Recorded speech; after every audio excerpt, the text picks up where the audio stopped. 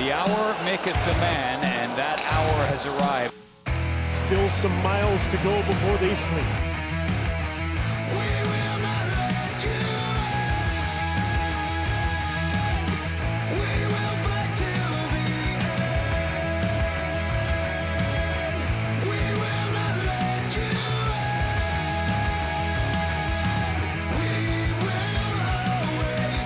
There's high expectations on both of these franchises to get out of the first round. I think the fans are enjoying this.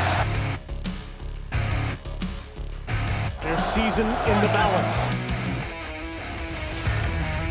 Walking that razor thin fine line.